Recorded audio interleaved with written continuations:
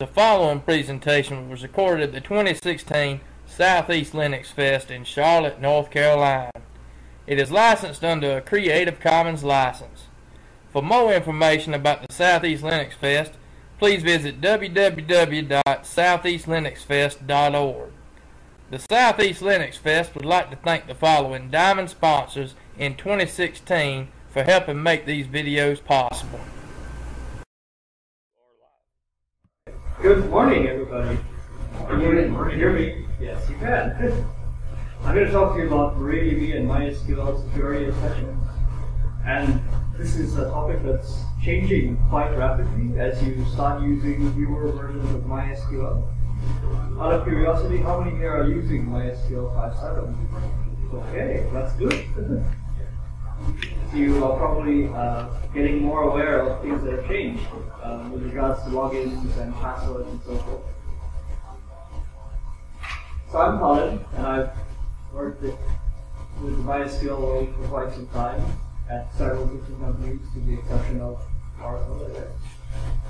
And I'm going to try to give you an overview of things that have happened historically. How many are still using MySQL 5.6? 5.5? MariaDB 10, some sort? Okay. So, historically, and this is probably something you don't see in 5.7, is we, we never actually had a password for the root user. The defaults tend to be pretty poor. There also used to be a default test database that you could get in, you could make use of, and there were ways to get, to get rid of the test database. Um, you can also obviously find passwords from app config files. Typically, wp-config, if it's in, uh, incorrectly configured, will uh, obviously uh, show it to anybody on your system. It's also worth noting that you shouldn't start your WordPress um, blog with root permissions either, as you shouldn't with any uh, application you plan to install. And um, if your data directory permissions aren't secure, and this shouldn't happen in theory if you use packages from your Linux system, but they do happen if you end up compiling things yourself. You can actually, you know, run strings on this file, and you actually see your passwords. You also enter your password on the shell, so if you do mysql-u root-p password, it'll also be in your shell history. So you probably don't want to do that either. And um, the other common mistake if you compile yourself is you run MySQL with the root user as opposed to the MySQL user. And MySQL we now has started up with root permissions. You should also look to see if you can um, be able to see from the MySQL user table what privileges are available to users. And uh, if you can do this, this could also be uh, a way to get into the system. It's also worth noting that when, when you're using replication, which more or less you probably end up using, you, you may not need global permissions. If you can obviously start and or stop the MySQL process, you can actually obviously reset passwords. So whoever has permissions, so the root user obviously you can start and stop MySQL but if you give that to other users groups, this can be a problem. You can edit the my.cnf file and you can run a SQL file you can actually, you know, skip the grant table, so, so log in as root, uh, update the password. Um, here you can actually have a file that more or less says that and it might see that. So permissions are important. Again, if you're using packages, more or less this shouldn't happen. This should only happen if you're starting to do things more or less manually. It's great that the SQL mode has been getting stricter over time 156 says there's no engine substitution any longer. And um, this really does preserve data integrity. So when you do today also things like a query table, the default engine um, that is being used, you'll actually get a warning. When you do an alter table, you'll get a warning. And obviously the table is not altered. Um, so if the design engine is unavailable, um, no substitution is a good idea. In fact, in OpenStack installs, there are also options in Percona server and, MariaDB storage engine. And um, it keeps on improving. So even later on, you start seeing things like no zero date, no zeros in date. If you're running anything before 5.7, you should definitely, and this includes if you're running MariaDB 10.1, you should definitely run MySQL secure installation after you're done. Because this will actually remove your anonymous users, get rid of the test database, get rid of non-local root users, and it'll force you to set a root password. And depending on how you make your installs, some distributions, like Debian for example, dev helper actually pops up saying, look, you have to provide a password for your root user. Uh, models that didn't have this. And of course, if you look at 5.6, their passwords are saved in, uh, in a dot file inside of your home directory. And if you look at 5.7, you actually have to grep the install log to find your initial password and then change it upon login. So when you do create users, the lazy way is to grant everything to said user. This is obviously not a good idea. You should only grant what the user actually needs. Um, you don't really want your WordPress user being able to shut down the server, for example, because it's much easier to crack WordPress and then execute something if you didn't up, update WordPress. And I don't need to pick on WordPress. This can apply to Joomla and Drupal and everything. Isn't that exactly the way they tell you in WordPress example how to install WordPress? Yeah, so that's usually there for you to be, you know, make it easy for you, right, to get started. But if you wanted to have uh, more security, this is exactly what you don't want to be doing. But to get started, yeah, just grant everything to the user. It's amazing. But that's the exact example they do on the WordPress installation. Yeah. But you know, the moment you have granted all, um, say in MariaDB 10 or 5.7, you could, if you manage to crack WordPress and now execute SQL statements, you can shut down the MySQL server if you want to, for example. Or if you add replication, you could change masters or break replication. You could do a lot of bad things when you grant it all to say user.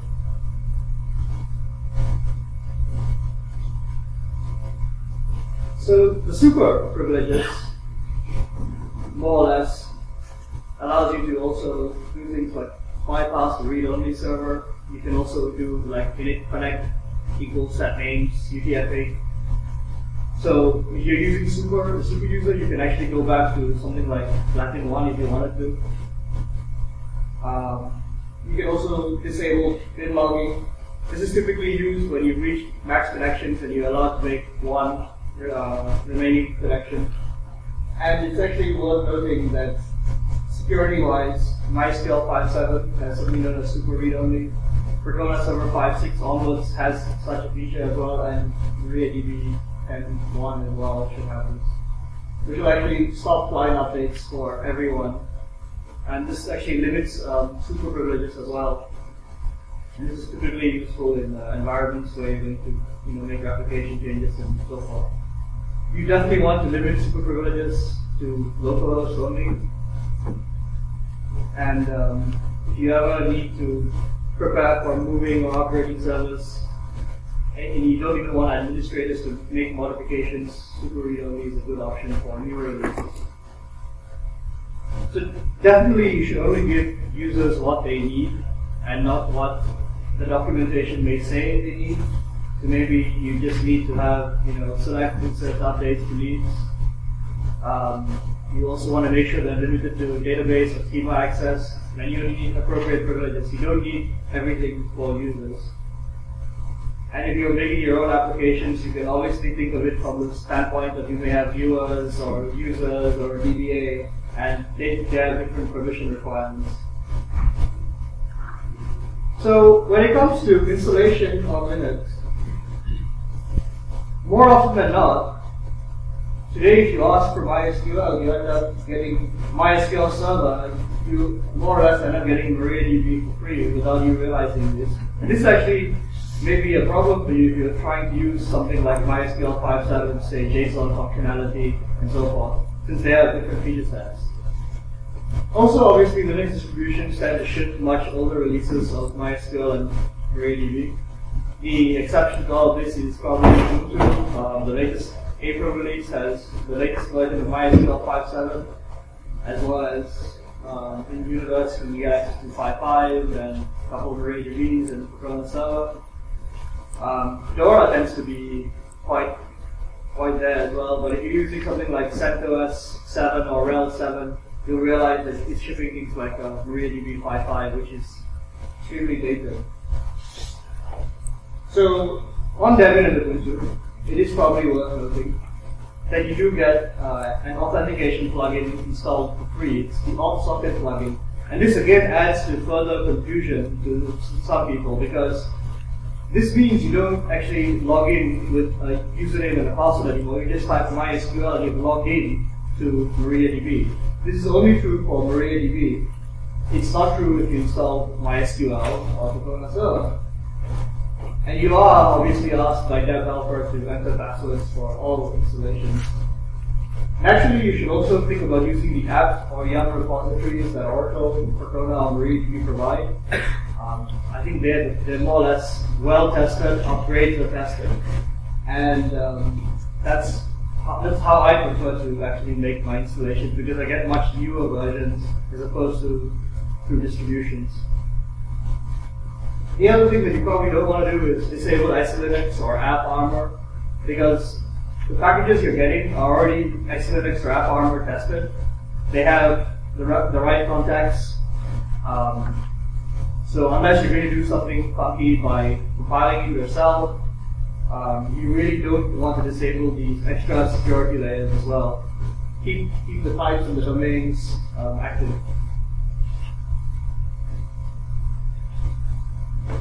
You want to probably also enable log warnings so you can actually keep track of access denied messages. As always, there are differences between MySQL and MariaDB when it comes to this.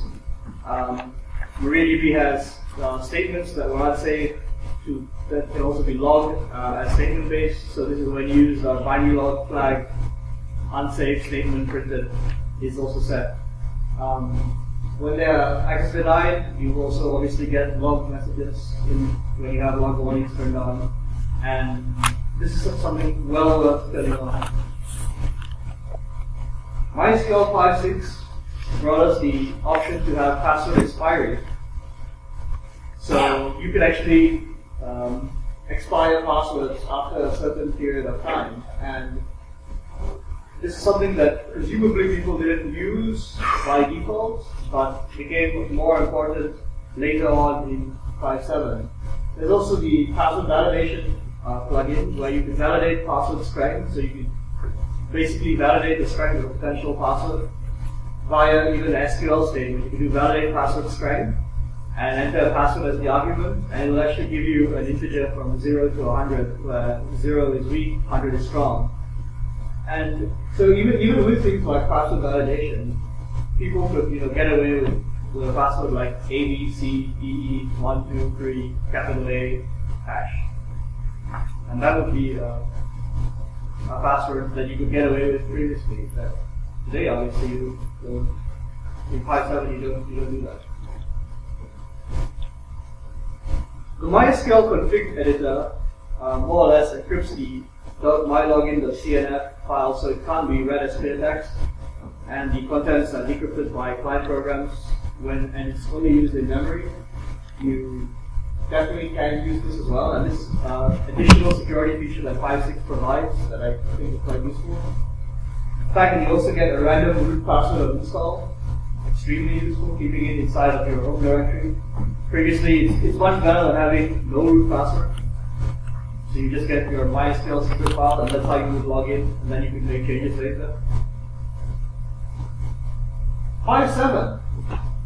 Amazing changes to 5.7 because now you actually do get password expiration set, and the default password lifetime is six months. It's uh, set to 180, and this means that every six months your password will expire, you will then be prompted to, to have a new password.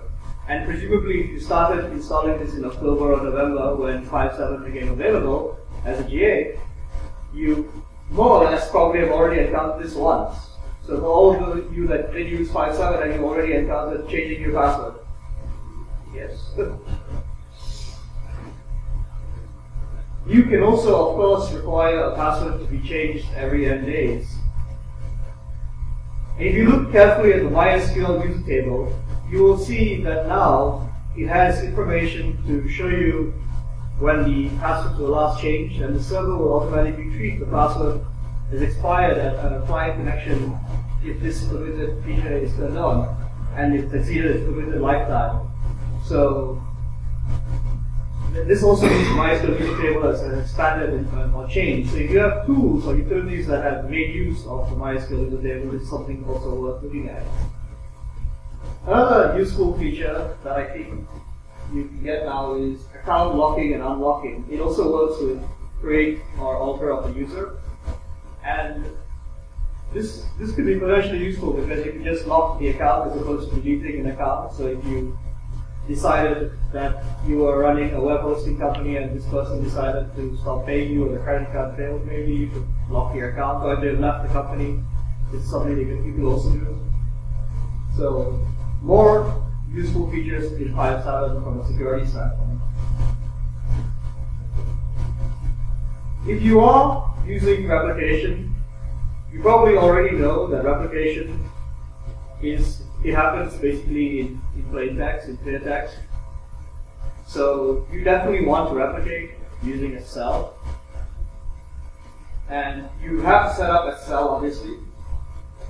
You either use yaSSL or OpenSSL. You don't want to have a mix of yaSSL and OpenSSL. In fact, the only time you actually end up having OpenSSL is you use MySQL enterprise binaries the community binaries and every other distribution more or less ships with yaSSL, which has renamed itself to CyaSSL to wolfSSL. So it changes names, but it's more or less the same library. Now setting up a SSL is surprisingly not as easy as one would think. I'm sure if you set it up and, and SSL replication, it actually does take quite a bit of effort. Which is why it's not just the OpenSSL command, it's also the it's all the certs that you have to manage. That MySQL 5.7 provides the MySQL SSL RSA setup tool. This program creates the SSL certificates and key files, as well as the associated RSA key, key files to support your secure connections. And um, it will actually more or less help to ensure that you don't have things going over unencrypted connections if your files are missing. I highly recommend using this tool because it makes life easier, a lot easier. I mean, I wish we had this tool in MariaDB as well. the way initializing data directories has also changed. Previously, we used to use MySQL install DB, and this is still true for MariaDB. You still do use MySQL install DB, but it's deprecated in 5.7. Now actually, MySQL itself self-initializes either by initialize or initialize with secure. And this option is more or less there to use initialize secure, you actually set up your own root password. If you use initialize, you basically initialize your MySQL installation. It creates a data directory for you, it populates the tables for you into the MySQL system database. And um, it also can it can also actually uh, sort of enable GTID for you if you want it, but it's um, more or less disabled um, in the GA right there. GTID is not turned on. But it uh, can, it can be turned on. I'd have to check with Chuck. I'm, I'm between so many releases I couldn't. Right. So with MariaDB, there is also password validation, and I say it finally exists now because it really only came much later than 5.6 had it. It only arrived fairly recently. And of course, here you have the simple password check. It's not turned on by default. And it's, it, this simple password check more or less works similarly to the password validation that you get with MySQL up to 5.7. Here again, you can uh, it will guarantee a minimum password length, so you can actually get away with a password like A, B, C, 1, 2, 3, 4, 5, um, capital B, dot. Which is why, again, um, the option to have a second password check plugin, the Cracklib password check, also exists, and this obviously only works on Unisys or something that actually has pam_cracklib available on it.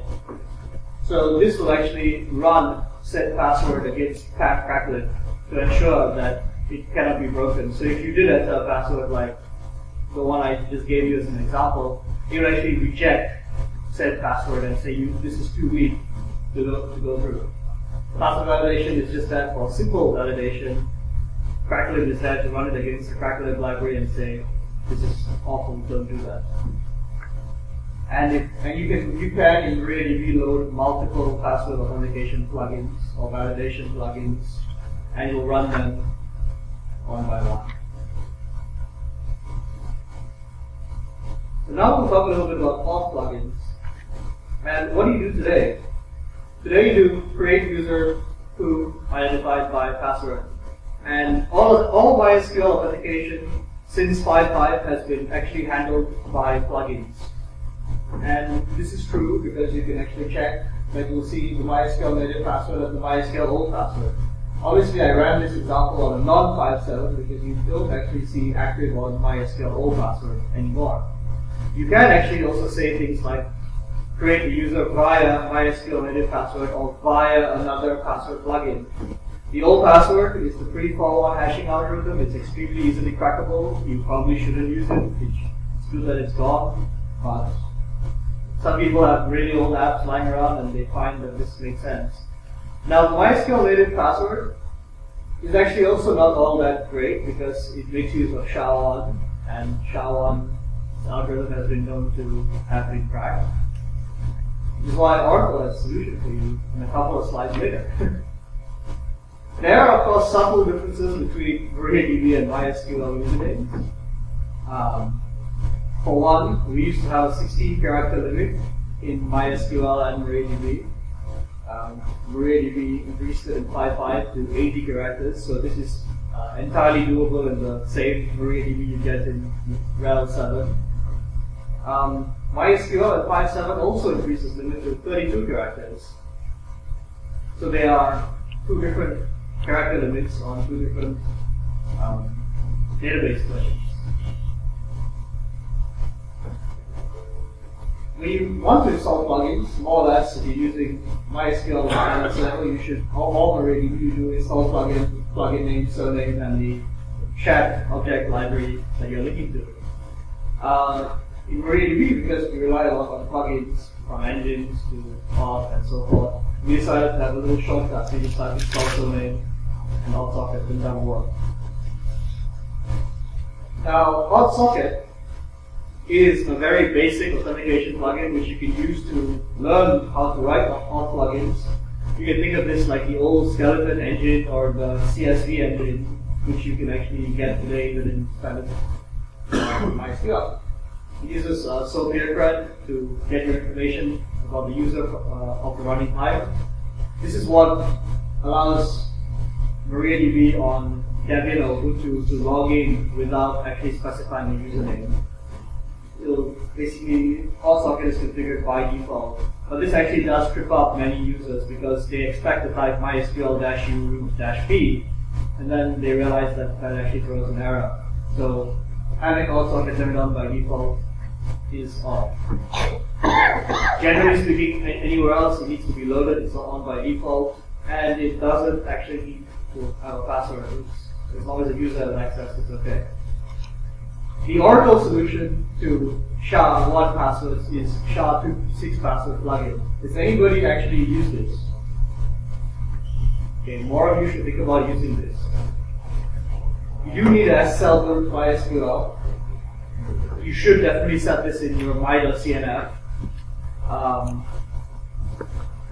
as in by saying default configuration plugin equals SHA-256 password.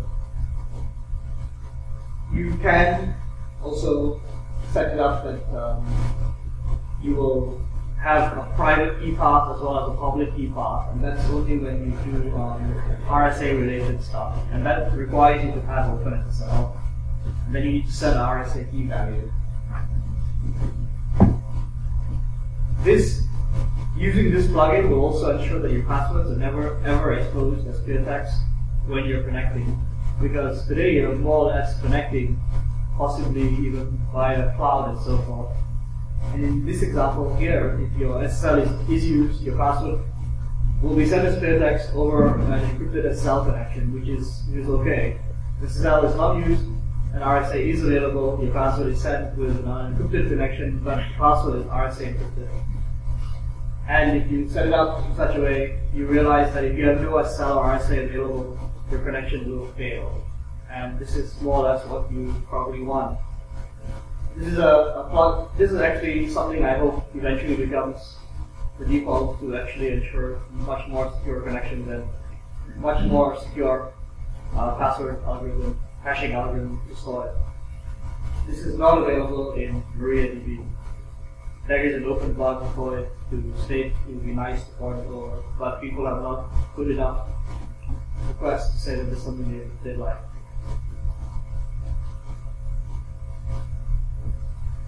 There are there is obviously PAM authentication, and if you are a Linux user, you're more or less quite familiar with PAM authentication because pretty much all happens via PAM. There are three different versions of the PAM authentication plugin. The MySQL PAM authentication plugin, which you get as part of MySQL Enterprise. You get Percona PAM with auth_pam and auth_pam_compat, which you can get and should more or less run MySQL or MariaDB. You also get the MariaDB PAM authentication plugin, which should also run on MySQL, Percona, and MariaDB. auth_pam for Percona is more or less a very cool feature. It makes use of the dialog plugin. So this actually loads up dialog.so and be automatically loaded for you. Compat is the is the MySQL clear password plugin option that remains compatible with Oracle installations, Oracle MySQL installations. And you real, and you, you may wonder why there are all these auth plugins, and it's largely because once there's an enterprise version of something in MySQL, Percona and or MariaDB ends up making more or less open source version that you could use. And you could use with MySQL community as well. And that is why there are multiple PAM authentication plugins. This is not the only example of multiple plugins.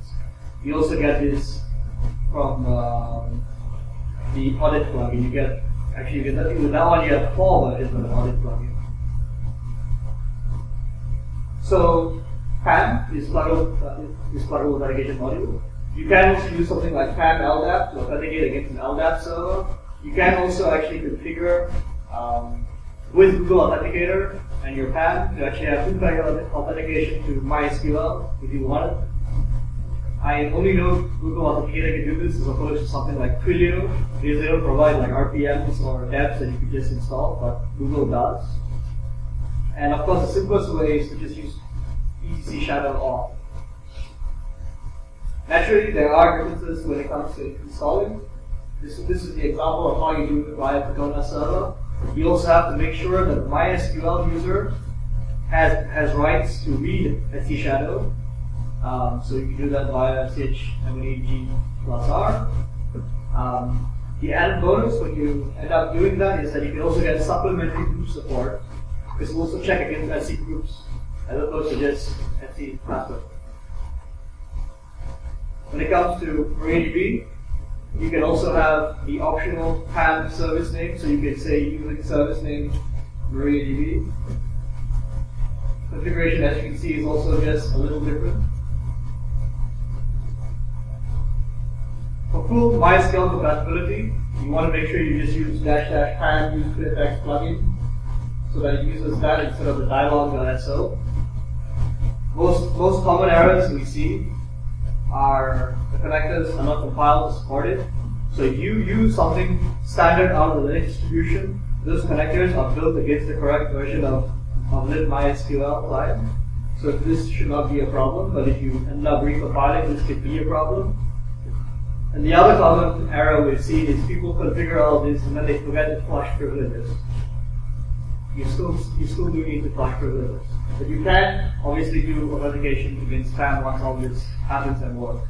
And there are plenty of tutorials online um, in the documentation more or less to tell you how to get all of this going, so I don't have to go deep into it. Now, how many people here have used Kerberos authentication? Anybody work in a bank? Okay, one person. Anybody use Active Directory, SSPI based authentication? Okay, a couple more people. So, so for a very long time, um, GSSI, GSS, well, SSPI authentication at least has has been available inside of MySQL Enterprise, which will allow you to authenticate against Active Directory. We didn't have that as an open source uh, release for a very long time. So we found that we had people actually saying that they required Kerberos authentication. Typically, they were financial institutions.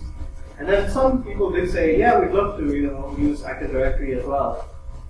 Um, the idea behind this is you use tickets to allow your nodes to communicate over your not secure network, and it will provide an identity in a secure manner. And so we thought we needed to do something about this. So we actually do have a Kerberos plugin. The MDEV is also public. It was actually done as a collaboration with a student, a Google Summer of Code student, and uh, and mentors at MariaDB. So you can actually now do something as I, have done there. You can actually create a user identified by Kerberos as say Mike at MariaDB NLP. And uh, that's the Kerberos realm that I'll be connecting to. And this this now ships inside standard MariaDB 10.1 onwards. This I haven't tested the plugin to work with MySQL or Percona server, but it shouldn't be hard for one to port it over. GS, uh, uh, GSS API based Kerberos is definitely easily supported on Linux, whereas Windows supports the SPI authentication method, and this plugin also supports that as well. So this now works not only with Kerberos, it also works with Active Directory, and we ship it as default and, and available for you to use on Windows as well as Linux. So you can get it in a much newer release. This also obviously requires the connector to have support for it. And the connectors that MariaDB provide for Java, C, and ODBC do support it. But uh, again, I, I'm not tested it with the standard MySQL connectors that you, you get. More or less, you probably should again compile it in something that understands this. There'll also be MySQL 5.7, MySQL no login that prevents all client connections to an account that uses it. This started live on uh, former MySQL engineers blog called Farmer. And um, the idea behind this was have this available so that if you want to have accounts that are only going to execute stored procedures or views, you can have elevated privileges without actually exposing all those privileges to an ordinary user. Also, proxy accounts that should never ever have a direct login. This is, a, this is, a, this is an option as well. This comes in 5.7. Um, for those of you using 5.7, anybody ever used this yet? Okay, well, hope you know that not by now that that exists. So audit plugins. There's an audit API and audit framework that came standard in MySQL 5.5, and um, this obviously has been used by uh, um, all the ecosystem players. So one of them, a simple one, is the SQL error logging plugin that you do get inside of MariaDB, but can also run on Percona server in MySQL. This more or less logs all errors that are sent to a client into a log file that you can analyze later. You can obviously rotate said log file, and you can do this just by loading up the SQL errorlog.so. And this is a very, very simple audit plugin. You can think of this as something that you would use as a base to write other audit plugins that you needed to. Then we have the audit plugin. And the audit plugin is also interesting because the first ever audit plugin that came out was was the McAfee audit plugin. And it it worked in a way that it actually had you had to run a, a, script to make offsets against each and every point server release. It was more or less quite complex. It didn't make use of the audit API. Then, MySQL came up with an audit plugin as well, but also limited this for enterprise use only. So naturally, this meant that there would be now some kind of open competition And Percona and MariaDB spawned two versions of an audit plugin. And audit plugins more or less work for every every every connection that is not served by the query cache. Because no tables are opened when you use the query cache. What is the right size for the query cache? Zero. Zero. it is more or less disabled by default anyway. You have to want to turn it on, so I hope you don't. So naturally, because MariaDB is more uh, a fork than a branch, it extended the user API so that you can also now filter based on user. But then it's also worth noting that the Percona audit plugin is very much more compatible with the MySQL Enterprise audit plugin because there are tools like MySQL Graph Audit that you can actually use to parse the audit format that comes out. And Percona's audit plugin also supports that. It also supports multiple output formats, be it XML, JSON, CSV, uh, and syslog. Auditing is not free. Auditing is more or less quite an expensive process. So the Percona audit plugin also deals with things like allowing you to audit in an asynchronous fashion, uh, semi-synchronous fashion, or a fully synchronous fashion. And that's something you should also want to think about doing. All audit plugins today mask the passwords that are entered so that you cannot actually look at someone's password via the audit log. You think this is an obvious thing to do, but when we first released the MariaDB audit plugin, we were auditing everything, including passwords.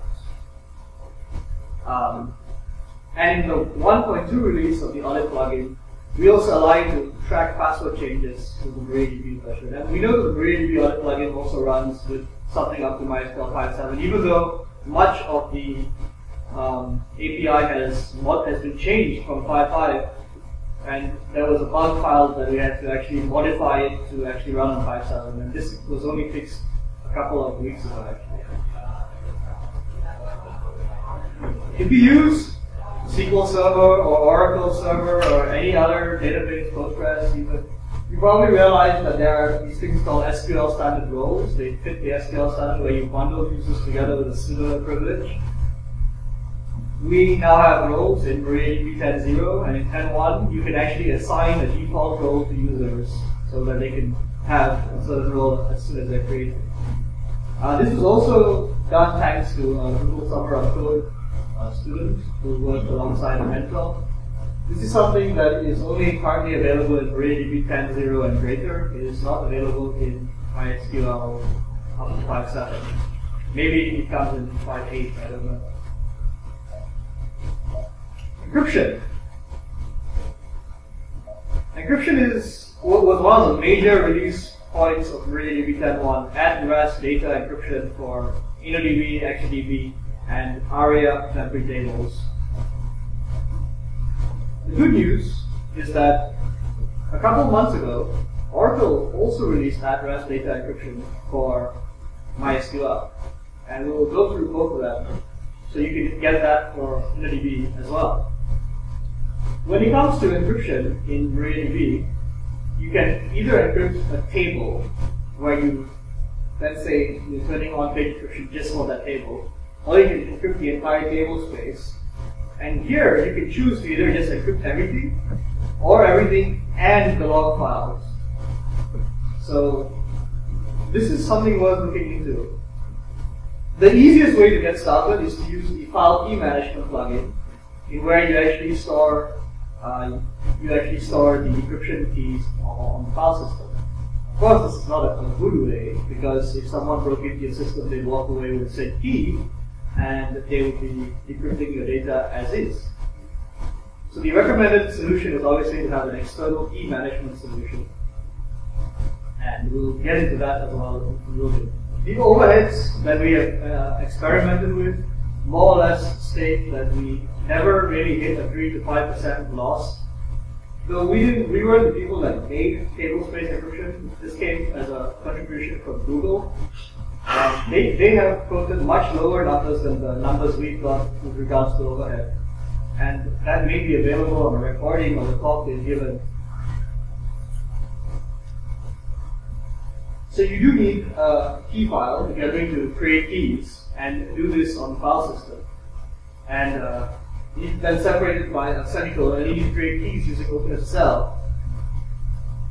You then also do need to change your MySQL config to actually now have these encryption options available. Now, tripping up on these encryption options where you don't have, say, uh, encrypt log or you, you, choose not to encrypt with tables, for example, can mean that data does, unencrypted data does leak to these uh, menus. So we realized this could be a hard thing to do, so we, we made a preset available for you as well. If you don't encrypt entire table spaces, we have obviously expanded the SQL where you have page encryption equals 1, and then the encryption key is a number that corresponds to the, to the file. This number will obviously be different when you use a key management system. You obviously do pick algorithms either when you use a table or table space encryption. Key rotation is only supported when you have external key management solution. You don't do this via file key management. We also do table space scrubbing to ensure that we will scan and upgrade encryption keys at a preset time. Now, temporary files created by the server for binary log transactional caches, file sort, etc., you can also encrypt this. You can also encrypt the relay logs. All of this is available via settings. If you have, happen to want to use InnoDB's compression as well, the way we the way we uh, execute this is we will compress first and encrypt later. So encryption is hard to get going, so we made a preset file. We don't turn encryption on by default because if you lose your key, you've lost your data. So that would make for very unhappy users. There are external uh, key management platforms available the eBury gateway for databases is the cheapest option we've managed to find. They don't seem to be open source options. But the best way to get started, in my opinion, is the Amazon Key Management Server plugin. You can more or less put your credit card with Amazon, pay like a buck for a thousand requests, and they actually do this for you. But this also means that you probably want to be running, say, something like EC2 as opposed to on-premise. And I, I know it says MariaDB Enterprise is a plugin, MariaDB Enterprise is a compiled plugin. MariaDB Server has the plugin in in a not compiled format. Sure all of you can figure out how to make such compilations happen really easily. It's also worth noting that MySQL binlog has no way to obviously decrypt your encrypted binary log. This does pose problems you have replication issues. This does also pose a problem when you want to um, make use of Galera cluster, where you end up using the MySQL binlog tool. XtraBackup itself needs to have a little bit more work, and we need to ensure the Gcache in Galera is encrypted and not leaking data as well. So this, more or less, should be a feature tick for MariaDB 10.2. MySQL 5.7.11, which I think is maybe two releases after the year, also did introduce InnoDB table space encryption you you need to put this in your my.cnf, so uh, plugin node keyring_file. Um, you have to use an InnoDB file per table. You it will not work with encrypting things like general table spaces, the system table space, undo log table space, temporary table space. You do need to convert your table. so you an alter table to set that the encryption is turned on. Uh, as I said, uh, also that this one doesn't do uh, encryption of redo, undo, and binary logs, and maybe this will change in the future. I don't know. This was not. This is a, a feature that was sprung onto us quite surprisingly. And it also has external key management. But the, the good part about the external key management here is you actually just buy Oracle Key Vault and you know it's something that works with everything else. And we don't have said solution. There are also ways to prevent SQL injections. Now, MySQL Enterprise Firewall has come and is available for a, a bunch of money. Uh, the answer, so more or less, this is a, a firewall that is built in uh, MySQL server. So we reckon that this is probably a little different from how we would do it with MaxScale. We didn't want to do this inside of the server. We said, why don't you use something in between um, the server and the application? So MaxScale will act as a proxy or a, a database firewall filter. And uh, you can actually add your own regular expressions. Keep in mind you can't parse SQL to regular expressions. MaxScale itself has a SQL parser. So the, the ways this has been done is a little different because the MySQL Enterprise Firewall is more an application level firewall. You know, your DBAs will permit or deny SQL statements. It has matching whitelists. Um, and your accounts are registered against the firewall with its own statement whitelists. And you can detail it per account. There are obviously different implementations of both. So it's well worth looking at them individually. Now, there is a third solution that I didn't put here up on the slide now, because it requires you compiling it yourself. And this comes from the Alibaba Ali SQL tree. They have given a talk a couple of months ago at Percona Live about how they've also built firewall into the server, which they run for all the Alibaba services and they are RDS equivalents that Alibaba offers. But not, no one has actually audited the code or ordered this out for something that is shipping. So it is, it is something that I would say your mileage may vary, so I'm not going to say go use that today. But that may be a solution that you may want to use soon. There are a few resources that can help with your security essentials as well. One of them is Oak Security Audit written by Shlomi Noach. It can actually do an audit for you. There's also a fairly good talk about how you how Google encrypted all their MySQL data, and this is the same code that they then donated to MariaDB, which is what you're getting in MariaDB 10.1. So you're getting everything that Google has in this talk, minus the key server, because the key server was not open source by Google which is why we only give you the options of more or less using the file key management or using the Amazon service.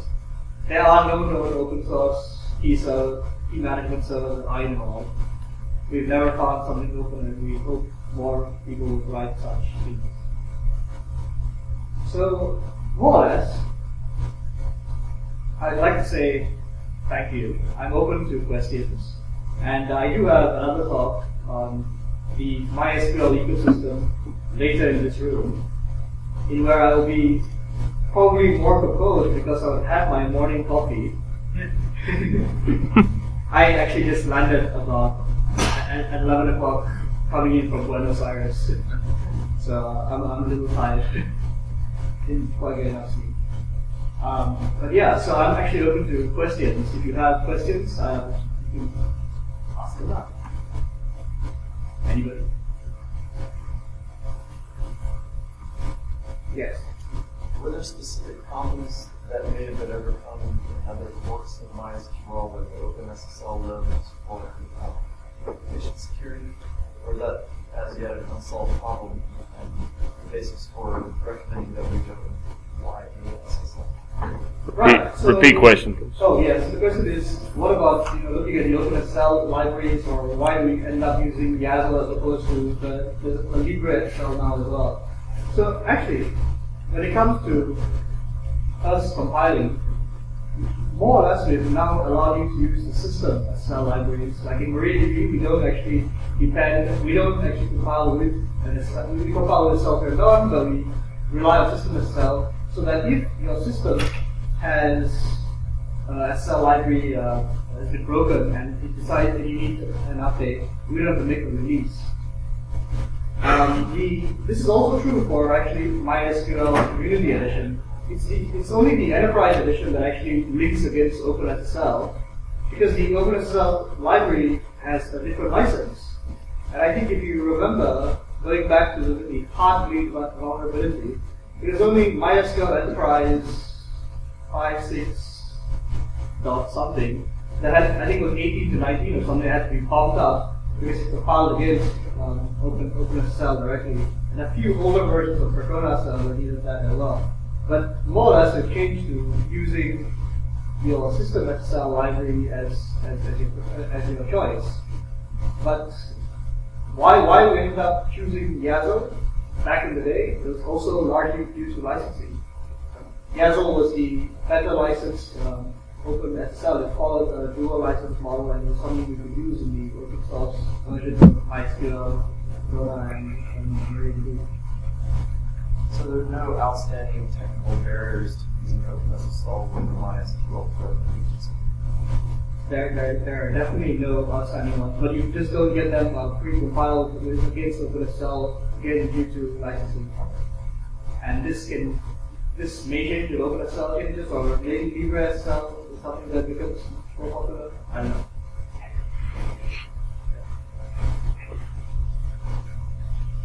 Well, yes. Um, we'd very interested in using um, SSD, SSSD and PAM to convert MySQL system database grants or for database convert table grants. It sounds like that's completely supported now. Kind of application is supported in they're interested in using uh, PAM as application for MySQL, and yeah, it's been supported since MySQL 5.5 Enterprise, and since Percona and MariaDB have released plugin since probably also around the 5.5 timeframe. Would you recommend a particular resource to get started uh, with configuration Uh, a good resource would be the documentation. I think they're, mostly fairly clear today. And um, I think MySQL performance blog, the Percona blog, has probably got articles against using it against LDAP and possibly even the two-factor stuff. They may be a, bit, a little dated, but you should be able to figure it out. But yeah, I'd say the documentation for both are pretty, pretty good. I don't know if Oracle provides more documentation for the enterprise user. No. Okay. Yeah, so time should work, and, and the PAM option will also work if you use MySQL community files and just get the right PAM plugin from your provider.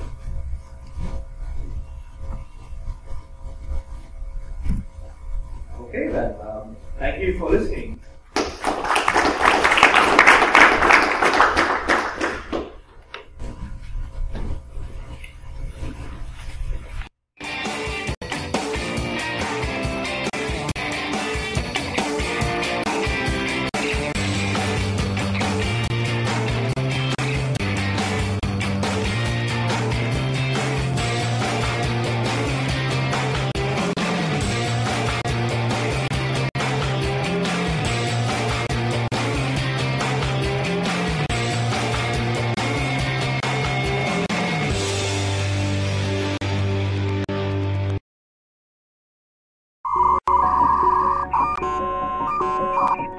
When we were trying to name Google, we actually went through thousands of names. The name of the company has now become its own verb in the dictionary. Let's Google it. You can Google it. Work the Google on the internet machine. Six simple letters on a plain For white example, page. being able to do searches in any language about any country. Thing, when you're putting in a question, they'd finish your question for you. We have been working on organizing the world's information. Our goal is to digitize all the books. Today, Google announced Gmail.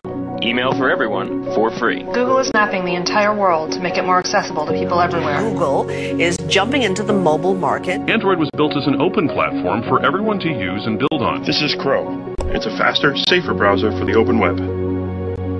Google is unveiling what they call the knowledge graph. We needed to understand the world the way you and I do, as objects and relationships between objects. Today, Google's got another useful feature with Google Now. We are providing you with answers before you've even asked for one them. One of my favorite cards is the one that shows traffic data for your commute to and from work. Think about how far Google has evolved from the 10 blue links. We asked ourselves, how can we assist you right when you need it? Okay, Google, call the Walker Art Center. It's not just desktops, phones, and laptops anymore. Okay, Google 유진이한테 5분 늦는다고 문자 보내줘. It's watches with displays, car consoles with displays. Okay, Google, let's go to the aquarium. How can we help you get things done in as few steps as possible? Okay, Google. Okay, Google. Okay, Google. Show me my photos of Lucas with the pumpkin. But we have to remember we have a long way to go. This is just the tip of the iceberg.